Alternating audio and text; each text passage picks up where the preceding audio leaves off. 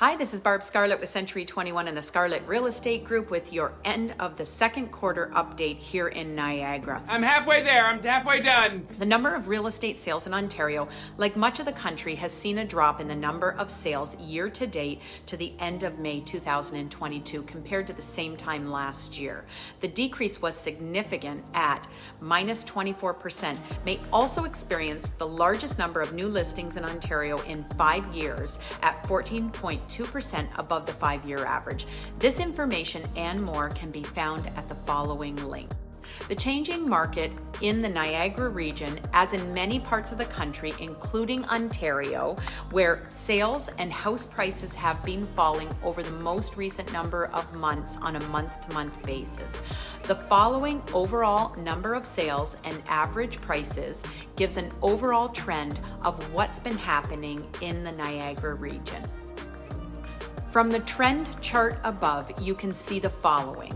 The number of sales in 2022 started dropping as of March and continued to drop for the last four months. The biggest increase in the average price happened in January at 12.6%, with a drop in sales of minus 5.2 from the previous month.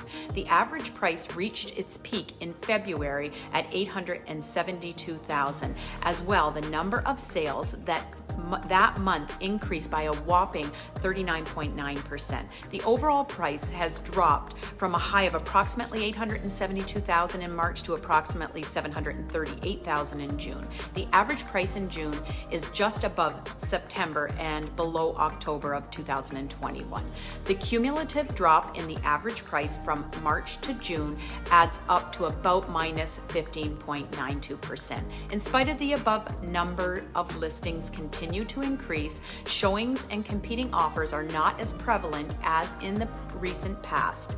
The market, however, is still in a seller's market territory, but it is trending towards a buyer's market. We are urging sellers to exercise patience as selling times have increased.